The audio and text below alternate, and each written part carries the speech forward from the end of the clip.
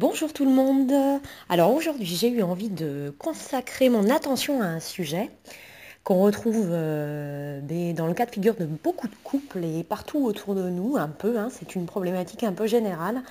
On va dire que c'est le sujet consacré à euh, la vie dans le couple. Euh, on se prend la tête tout le temps et on n'arrive pas à communiquer. Comment est-ce qu'on peut faire? Ben, j'ai eu envie de développer euh, ce sujet et euh, bah, de partager avec vous en fait mon analyse sur euh, ce point. Mais bien sûr, mon analyse n'a pas pour valeur intégrale. Hein. Vous vous faites votre propre opinion et voilà, c'est libre. Donc moi, je dirais que dans mon analyse, en fait, les clés de la solution pour stopper les conflits dans un couple, ben, je dirais que c'est déjà, il faut être capable d'apprendre à se connaître soi-même. Pourquoi soi-même? Parce que euh, au fond, on est, des, humains. Donc on est constitué d'ADN et cet ADN est tellement complexe que sa complexité fait qu'on est euh, bah, des individus uniques. Donc on ne sera pas pareil que notre voisin et on ne va pas intégrer l'information comme nos voisins, on ne va pas réagir à l'information comme notre compagnon le ferait ou, ou un voisin ou un collègue ou autre. Donc voilà. Alors les clés de la solution pour revenir au premier point, je dirais que c'est apprendre à vous connaître, c'est identifier vos valeurs.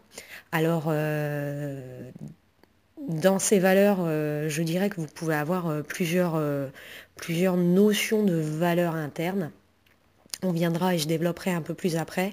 Mais un, c'est apprendre à vous connaître vous-même pour déterminer vos valeurs. Deux, je dirais que c'est avoir également suffisamment d'empathie et bien sûr une empathie équilibrée. Il ne faut pas qu'il y ait lieu de soumission, mais une empathie bien équilibrée pour être capable de se mettre à la place de l'autre et essayer de comprendre l'autre. Euh, pas euh, focaliser sur la répartition des torts, mais euh, focaliser plus sur qu'est-ce qui passe pas dans la communication, quels sont ces points et pourquoi est-ce que l'autre m'en parle. Donc j'essaie de me mettre à la place de l'autre et j'essaie de comprendre pourquoi euh, il évoque toujours ces points, par exemple. Et puis ben, le troisième point en clé de la solution, qui permettrait à mon sens euh, ben, euh, de mettre de la sérénité dans les couples, c'est faire preuve d'intelligence émotionnelle. Votre intelligence émotionnelle, elle doit vous permettre et vous aider en fait à prendre conscience euh, ben, de vos valeurs et de vos leviers. C'est-à-dire que par exemple, si euh, vous êtes capable d'identifier vos valeurs, ces valeurs, après, elles ont une échelle. C'est comme quand on, saute euh, d'une montagne, on ne va pas tous avoir le même pic d'adrénaline si on fait l'exercice, avec un parachute bien sûr. Hein. Mais voilà, on n'a pas les mêmes seuils de déclenchement et donc on n'a pas voilà, les mêmes seuils de déclenchement de nos valeurs. C'est-à-dire que si j'illustre et je schématise, moi, euh, j'ai une valeur fondamentale qui pourrait être, par exemple, euh, il y en a plein, ça peut être le... Certains ont en valeur fondamentale le pouvoir, ils ont besoin de, sentir euh, qu'ils ont un pouvoir permanent. D'autres, ça va être l'argent, ils ont besoin de sentir, ils ont besoin d'avoir de l'argent en permanence. Et d'autres, ça va être des valeurs plus fondamentales, ça peut être tout simplement la politesse, le civisme également. Donc en fait, c'est par exemple être capable de savoir au niveau de quel seuil d'impolitesse euh, vous allez commencer à, on va dire, euh, dégoupiller. Donc, qu'est-ce que, quel niveau vous allez euh, tolérer? Donc si vous êtes face à quelqu'un qui en permanence joue avec les seuils de vos valeurs, alors certains pourraient appeler ça de la perversion narcissique, les manipulateurs narcissiques, appelez-les comme vous voulez, mais ces gens qui sont capables d'identifier vos valeurs sont capables de les actionner.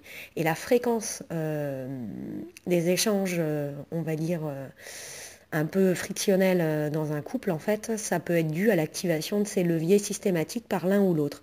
Souvent, les modèles fonctionnent comme les modèles clé-serrure, c'est-à-dire que s'il y a un peu de perversion d'un côté, ben, c'est que certainement vous, vous êtes, euh, vous êtes, euh, on va dire, réceptionniste, en fait, quoi. Donc je, vous jouez également un rôle. Ce que je veux dire, c'est que souvent dans les conflits, on va dire c'est du 50-50. Euh, Pas en fonction de la, en termes de responsabilité, mais euh, peut-être euh, en mode d'activation. Il y a certainement des, choses chez lui qui, bah, qui vont déclencher vos excès de colère. Et pareil, lui, il a des choses chez vous bah, qui vont déclencher ces excès de colère. Donc il faut les identifier. C'est souvent ça rattaché à des échelles de valeur. Donc identifiez vos niveaux de tolérance et prenez du recul. Parce que si vous n'avez pas les mêmes niveaux de, tolérance et que vous en êtes très très écarté, vous risquez euh, de vous d'avoir des colères, euh, on va dire, à répétition.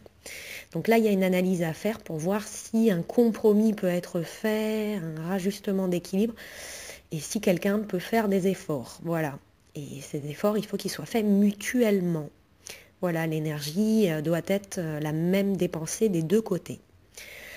Alors pour revenir sur euh, les valeurs et la tolérance, alors on est des individus, comme je l'ai dit tout à l'heure, complètement différents. Même si on peut se rapprocher par certains points communs, mais dans l'ensemble, on a des bases qui sont complètement différentes et qui nous distinguent. Alors on est des individus qui fonctionnent phasiques. C'est-à-dire que euh, bah, on a des phases hautes, on a des phases basses, c'est-à-dire que euh, par exemple dans les valeurs que je vous ai citées tout à l'heure, argent, pouvoir, politesse, civisme, euh, respect, on pourrait en citer d'autres comme la bravoure, en fait on est un peu toutes ces valeurs-là. On est un mix. Et ce mix de valeurs, en fait, ben, il oscille par phase. Donc il est tantôt haut, tantôt bas.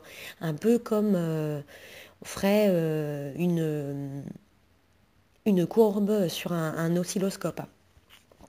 Voilà, donc en fait, tout ça, toutes ces valeurs, elles sont phasiques. Elles apparaissent, elles disparaissent à des fréquences différentes, à des amplitudes différentes.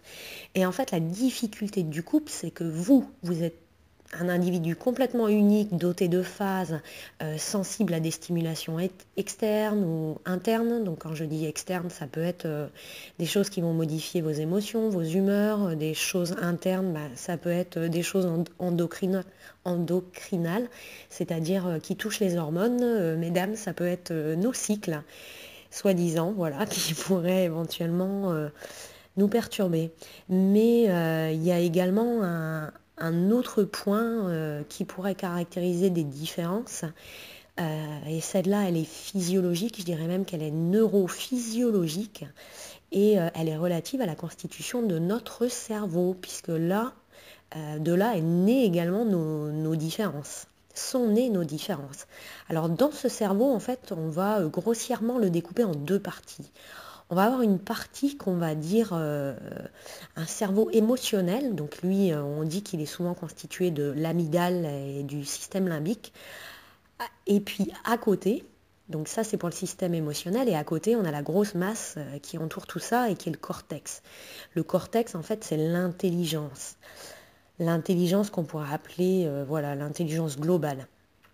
Et en fait, quand vous avez des réactions, le premier centre nerveux qui va être stimulé, c'est le centre émotionnel, parce que lui, euh, il réagit le plus vite. Le temps que l'information soit conduite sur le, neurone, il peut réagir à la euh, microseconde, euh, milliseconde.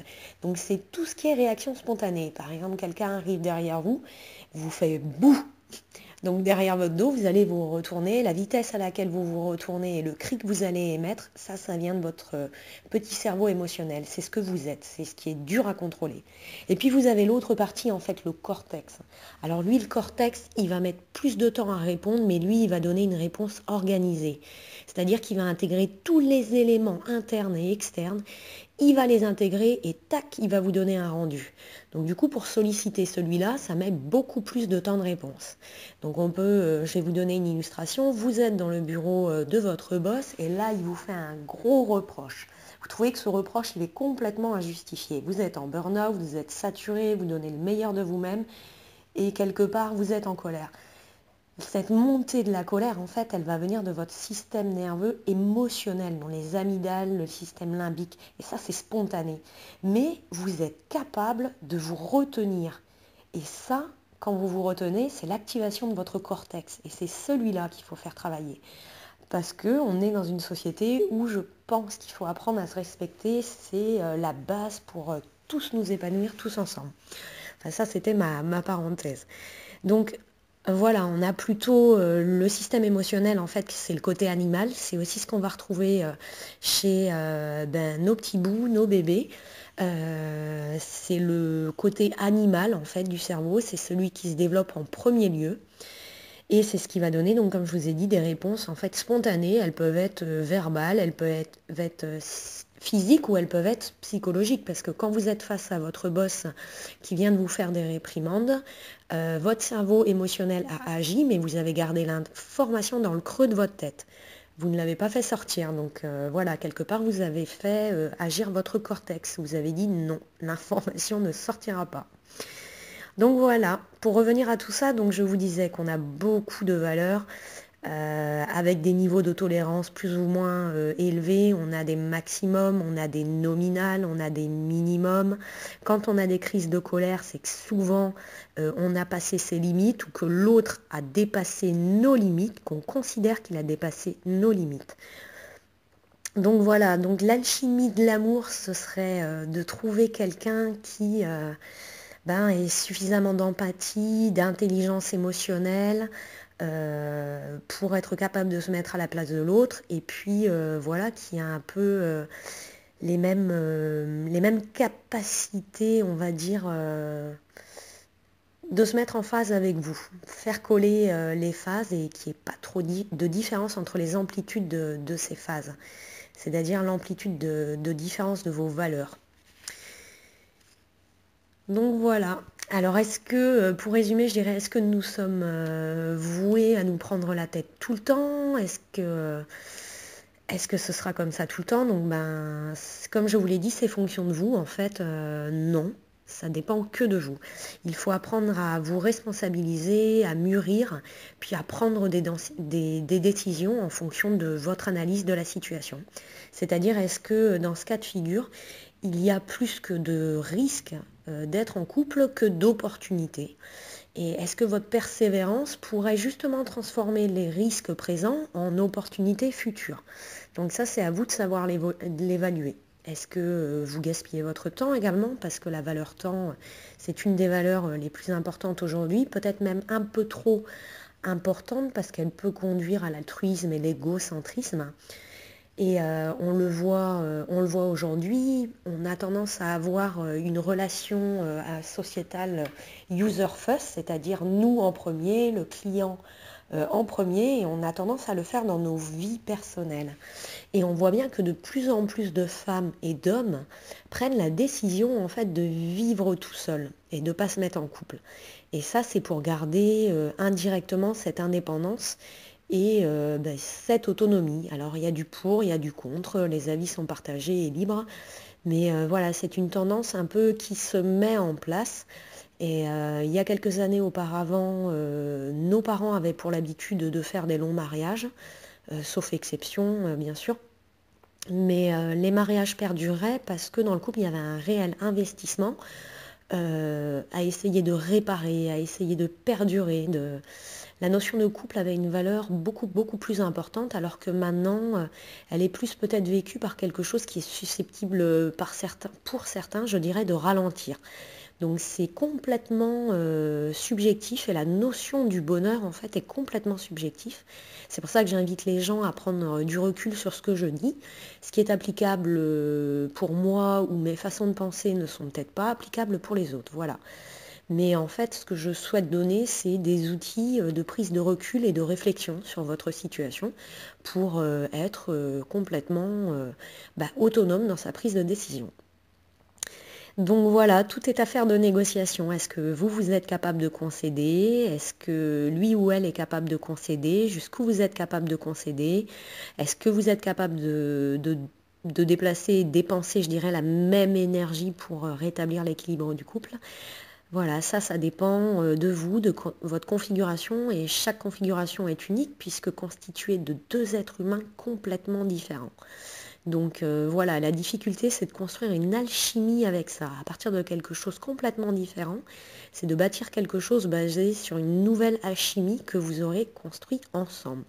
Donc c'est-à-dire de construire des phases sur lesquelles euh, vous allez tous les deux pouvoir ben, évoluer de la même manière.